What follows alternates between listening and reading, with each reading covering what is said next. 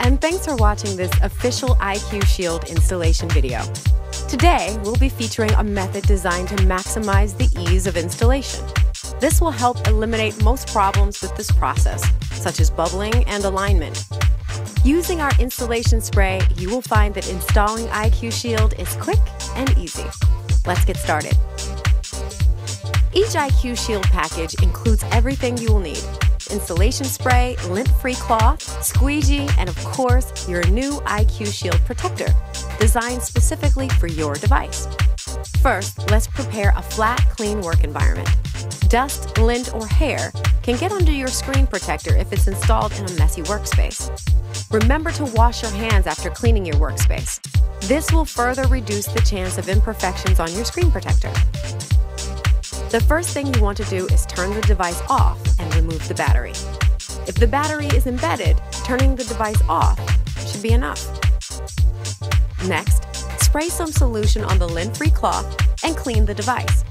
The solution included is not an adhesive. It is water mixed with a small amount of cleaning solution and will not leave any residue once dry. Now that we have completed the setup, it's time to install your screen protector. Before handling your screen protector, spray your fingers with the solution. It is important to keep your fingertips wet during installation, as it helps keep fingerprints from getting under your IQ Shield. Spray a light coating of solution on top of the film. This will keep the film from stretching during the squeegee process later on.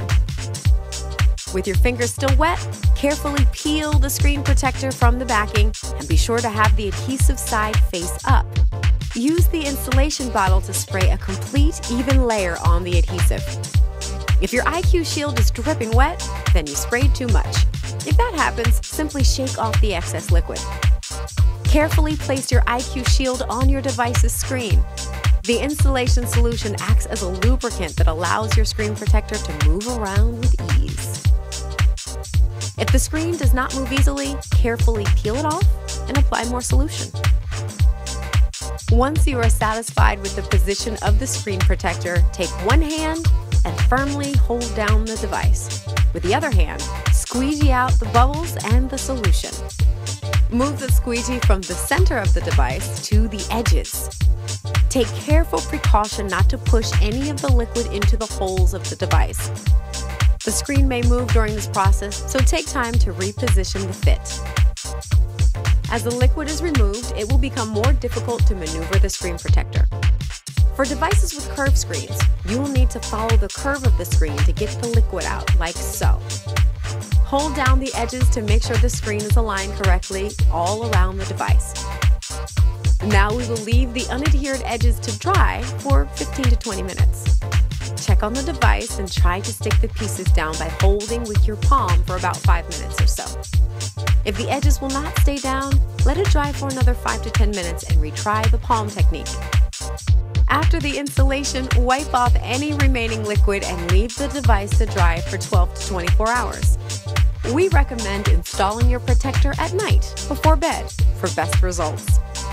You may have some cloudiness, bubbles, or a rainbow residue left over, but do not worry. This will disappear as the screen cures within the next day or two. Thank you for watching this installation video. We hope that this video has been helpful to you. If you have any issues with your installation, feel free to contact our customer service department for help.